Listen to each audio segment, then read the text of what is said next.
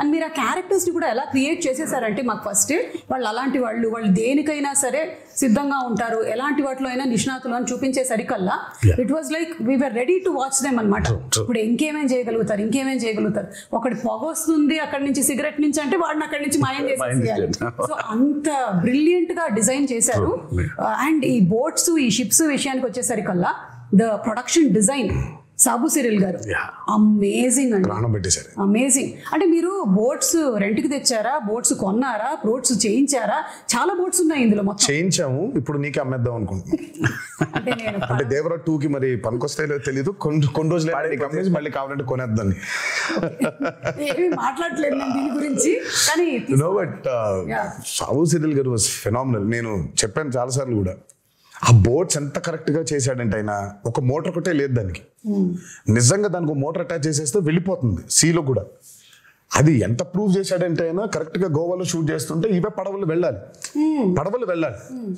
సరే శివ వెళ్ళి ఈయన మొత్తం రెక్కి చేశాడు పడవలు ఉన్నాయా అని చూస్తే ఆ పడవలేమో దేవరా అనే ఈ ఎర్ర సముద్రం వరల్డ్లోకి ఆ, పట్టట్లేదు. దేర్ ఆల్ కలర్ఫుల్ వెరైటీగా ఉన్నాయి.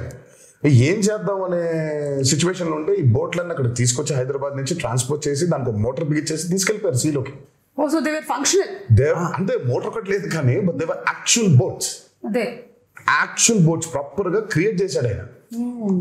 సో ఇట్ వాజ్ అసలు ఐ మీన్ సాము సిరియల్ గారు అసలు ఈ మూవీకి especially because uh it was on water yeah మాకు పెద్ద అసలు ఓ ఎక్స్పీరియన్స్ ఉందంటే లేదు. ఆ నీళ్ళ మీద అల్లలు కానివ్వండి. ఈ హ్యాడ్ టు క్రియేట్ వేవ్స్ రెండు ప్రొక్లేనర్లో డిగ్గర్లు తెచ్చి దానికి అలా చేస్తుంటే అది వేవ్ న్యాచురల్ వేవ్ క్రియేట్ అయ్యి మళ్ళీ రిపుల్స్ రావాలి వేవ్స్లో. దానికి మోటార్ బోట్లు ఐ మీన్ బోట్ మోటార్స్ పెట్టి ఒక ఆరేడెనిమిది మోటార్లు పెట్టి దాన్ని చేశారు దాని తర్వాత దానికి స్మోక్ రావాలంటే కింద డ్రై ఐస్ వేసారు. యా అయ్యో అసలు అసలు సార్ మీరు మీరు రాసేటప్పుడు అనుకున్నారా సార్? ఇన్ని జరుగుతాయి మనకి. కొంచెం వాటర్ కాకుండా బయటికి తీసుకొద్దాము అని అప్పుడప్పుడు? లేదు ఛాన్స్ లేదు. ఎందుకంటే సముద్రం మీద కథ.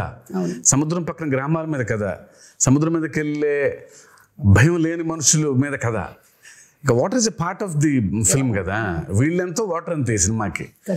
ఫస్ట్ నుంచి అనుకుని దిగాం అది అందుకే ఇవాళ అవుట్పుట్ అది. వాటర్ లేకపోతే అసలు ఎగ్జాక్ట్లీ. అండ్ చాలా మంది ఇప్పటికీ కూడా కొన్ని రీజియన్స్లో అలాగే బతుకుతారు కదా. వాళ్ళకి మోడ్ ఆఫ్ ట్రాన్స్పోర్ట్ అంతా ఇంకా బోటే you don't have any other బోలెడు ఉన్నాయి అన్న. యా అందుకే వెన్ మూవీ పూజ జరిగిన రోజే ఆయన చెప్పాడు forgotten coastal villages forgotten coastal lands చాలా ఉన్నాయి. మనకు తెలియదు బేసిక్ మనం ఊర్లో ఉన్నాయని కూడా తెలియదు. మనకు ఊళ్ళు ఉన్నాయని కూడా తెలియదు. సో చాలా ఉన్నాయి ఊళ్ళు ఇంకా అలా. సో అలాంటి ఒక మిథికల్ వరల్డ్ క్రియేట్ చేస్తే అలా ఉంటుంది. యా నేను చాలాసార్లు కూడా చెప్పాను అందుకే ఈరోజు వెన్ సినిమా చూసిన తర్వాత how audiences are giving the output చూసుకుంటే రివ్యూస్ చూసుకుంటే అసలు ఇంకా కాసేపు ఒక పదిహేను నిమిషాల తర్వాత ఇంకా ఇంకా మీ బయటికి రాలేము. అవును.